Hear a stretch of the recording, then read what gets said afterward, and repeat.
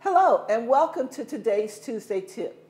Thank you to all of that responded to last Tuesday tip on smoking violations. So many of you responded to give encouragement and to say that it's not an easy process going smoke free.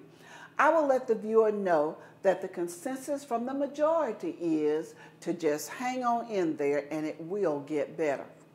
Today's tip is about the recent government shutdown as it relates to our industry, the multifamily industry.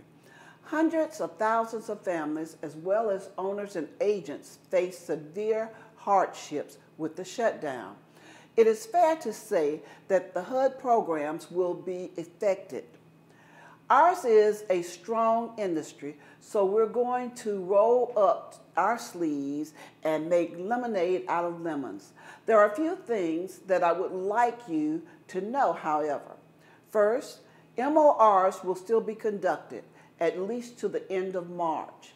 Secondly, those rental assistance contracts that were not executed in December and January were not executed in December and January will not receive a HAP voucher until the shutdown is over, unfortunately. It may affect some February vouchers as well, according to how long the shutdown lasts. Thirdly, HUD released two memos regarding the impact of the shutdown to the multifamily industry that can be found on our website.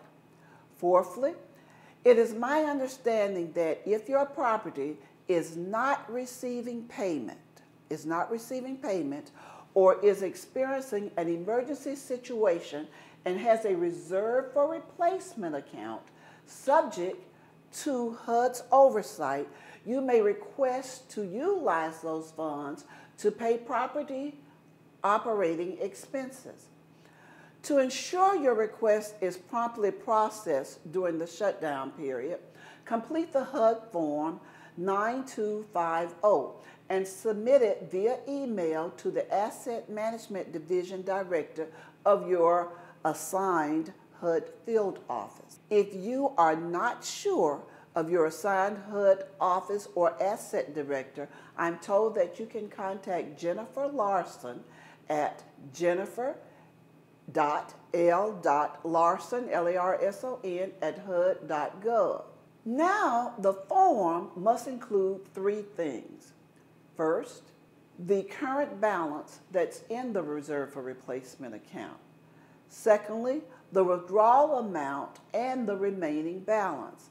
And last but not least, it should also include a statement confirming that the release of funds will be reimbursed to the reserve for replacement account once HUD appropriations funding is restored.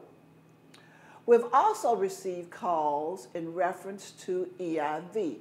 We know that some of the information is not current. I want to remind you that as far as ARs, ICs, and IRs go, to keep a copy of what you pull up in EIV for your records. And just as we were instructed in the last RHIIP listserv notice, number 411, do old-fashioned third-party verifications if you cannot get any information out of EIV. Thanks and we'll look forward to next week's Tuesday tip.